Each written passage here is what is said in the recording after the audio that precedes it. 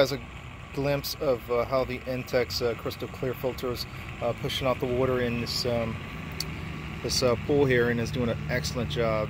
Uh, it's about uh, a thousand gallons per hour, more than enough for this pool.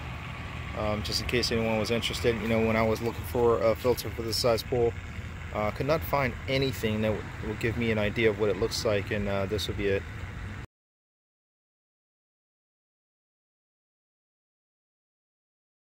So you can see that's great output from the Intex pool filter, pushing a lot of that water out, creating a lot of movement in the water, which is excellent for a pool this size.